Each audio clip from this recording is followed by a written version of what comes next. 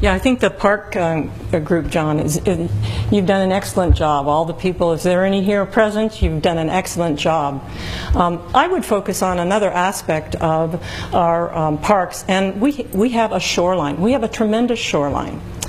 What do we do, though? We do the shoreline cleanup, um, and we, we have a kind of Fourth of July activity, which is very nice. But we really don't promote our shoreline as an, kind of an entertainment place. Um, Berkeley has the kite fair, which brings lots of people. So I would offer um, this other aspect too, uh, um, that we need to bring more of the business uh, small businesses who might be able to, in some way, create different business opportunities down there that would uh, attract people to come to the shoreline.